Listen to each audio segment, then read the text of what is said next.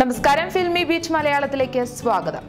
മമ്മൂക്കയും ലാലേട്ടനെയും ഒക്കെ ഒന്ന് ഇന്റർവ്യൂ ചെയ്യാൻ കിട്ടിയിരുന്നുവെങ്കിൽ എന്ന് ആഗ്രഹിക്കാത്ത അവതാരകർ ഉണ്ടാകില്ല നമ്മൾ ഏറെ ആരാധിക്കുകയും ബിഗ് സ്ക്രീനിൽ കിടിലൻ എൻട്രികൾക്കും പഞ്ച് ഡയലോഗുകൾക്കുമൊക്കെ കൈയടിക്കുകയും ചെയ്യുന്ന ഇത്തരം താരങ്ങളെ ഇന്റർവ്യൂ ചെയ്യാൻ മുന്നിലെത്തുമ്പോൾ എത്ര തഴക്കവും വഴക്കവും വന്ന അവതാരകരാണെങ്കിലും എത്ര ഗൃഹപാഠം ചെയ്തുവെങ്കിലും നെഞ്ചിടിക്കും.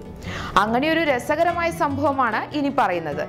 ഒരു ഓൺലൈൻ മാധ്യമത്തിലെ അവതാരകയ്ക്ക് മമ്മൂക്കയെ ഇന്റർവ്യൂ ചെയ്യാൻ കിട്ടിയ അവസരമാണ് ഇപ്പോൾ ചർച്ചയാവുന്നത്. ചെറിയ പരിഭ്രമത്തോടെ സമീപിച്ച അവതാരകയെ കൂളാക്കാൻ മമ്മൂക്ക ശ്രമിക്കുന്ന വീഡിയോ വൈറലായിരിക്കുകയാണ്. അവതാരകയുടെ ടെൻഷനെല്ലാം പമ്പ കടത്തിയതിനു ശേഷമാണ് അഭിമുഖം ആരംഭിക്കുന്നത്. അവതാരകയുടെ കുശലം ചോദിച്ച ശേഷം പേടിക്കേണ്ട ചോദിച്ചോ ഞാൻ പിടിച്ച് തിന്നുകയൊന്നുമില്ല എന്നൊക്കെയാണ് താരം പറയുന്നത്.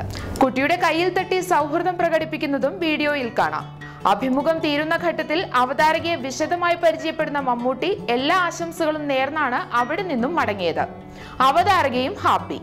മധുരരാജയുടെ വിശേഷങ്ങൾ പങ്കുവയ്ക്കാനാണ് മമ്മൂട്ടി എത്തിയത്.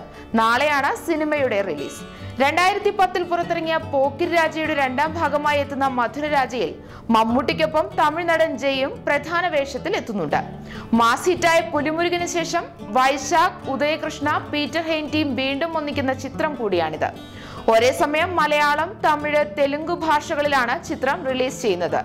വൈശാഖും ഉദയകൃഷ്ണയും മമ്മൂട്ടിയും വീണ്ടും ഒരുമിക്കുന്നുവെന്ന് കേട്ടപ്പോൾ തന്നെ പ്രേക്ഷക പ്രതീക്ഷയും വാനോളം ഉയർന്നിരുന്നു. പ്രേക്ഷകരുടെ നിരന്തരമായ അഭ്യർത്ഥന കൂടി പരിഗണിച്ചാണ് രാജയുമായി വീണ്ടും എത്താൻ തീരുമാനിച്ചതെന്ന് അണിയറ പ്രവർത്തകർ വ്യക്തമാക്കിയിരുന്നു. എല്ലാത്തരം പ്രേക്ഷകർക്കും ആസ്വദിക്കാവുന്ന സിനിമയാണിതെന്നും ഒരുപാടൊന്നും ആലോചിക്കാനോ ലോജിക്കിന് പിന്നാലെ പോവാനോ ഉള്ള കാര്യങ്ങളൊന്നും സിനിമയിലില്ലെന്നും അണിയറ പ്രവർത്തകർ പറയുന്നു. ഇനിയെല്ലാം സ്ക്രീനിൽ കാണാം. കാണാൻ പോകുന്ന പുരം പറഞ്ഞറിയിക്കേണ്ടതില്ലല്ലോ.